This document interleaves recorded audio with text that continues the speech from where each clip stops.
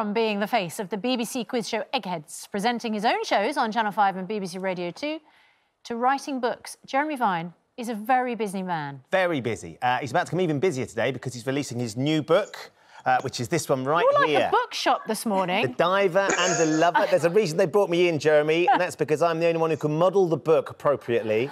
Uh, congratulations on the release of this. I know it's a big day for book releases today. I think it's there something like 400 books are being published or released today. No pressure. Um, but I, this, I think the more the merrier. You know, I think it's fantastic. And gosh, if we can get the bookshops back open and the literary festivals going, we'll know we're out of this this hell that we're in at the moment. Yeah, it's a it's a beautiful story, Jeremy. I, you sent me a copy. I'm very lucky to have uh, had a, a, a little look through it, and I completely got absorbed into it. It's a gorgeous love story.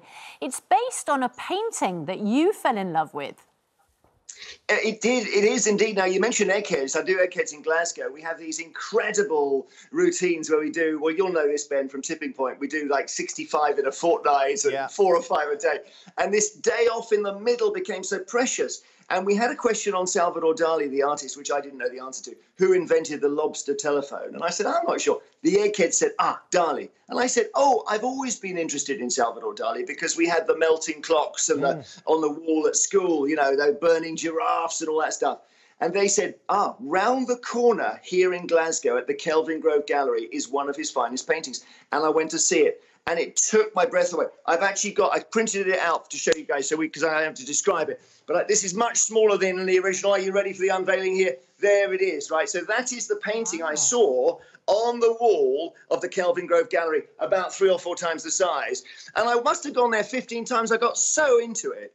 And I thought, in the end, I want to write a story about it. can you just describe it a little bit, Jeremy? It's quite hard for us to see. Is it, is it somebody on a cross? Oh, yeah. It's it's Christ on the well, cross. Of, course, of course I will. Sorry, let me go. Here we are. Right. So what you see here is is Christ on the cross, but from above. Yeah. Yeah. And the reason this painting is called Christ of St. John of the Cross is because in the 1500s, a monk did a sketch no bigger than a post it note of Jesus on the cross from above. And he got beaten up and thrown in jail because that was seen as a blasphemy. Wow. So Dali thought, I'm going to do exactly that notion for myself. So he did it. Now, when you stand in front of it, it's incredible because it's like you're catapulted from outer space towards the earth, and the very first thing you see is the head of Jesus Christ on the cross. So it is. A, it really throws you when you see it. And the novel, I the looked at- novel is, is an imagination of um, the the person, the model who Posed. posed for that, falling in love with one of your characters. It's absolutely gorgeous. We we want to talk to you about your own love story, though, Jeremy Vine. You have been married for a, a very long time, and now you are going to be working with your wife. Now, are you both sure that this is a good idea? I, this wasn't. uh, It wasn't my idea. Let me say. It was Rachel's idea? It came up in the office. They said we've got an idea for who might might uh, fill in for the Brilliant Storm, my co-presenter on Channel Five, and uh, you're going to like this. They said, and I said, okay, go hit me with it. And they said, it's your wife. Now she is actually just round the corner from where I'm sitting at the moment. So If you open that door again, careful. will she appear She'll- behind it? She'll be stood there. Rachel, She can't be camera shy. She's a television presenter. I don't know what's well. I don't know. She wouldn't be expecting. She might even be in her dressing gown. I'm not sure. Right, even the- better. Listen, she knows all my stories. That's the trouble. You know this. You're with a. You know, you're with a partner for life. You, you got. Uh, oh, here she is. Come on, come on, Rachel. Come this is on, great. You could do There your we best. go. Okay.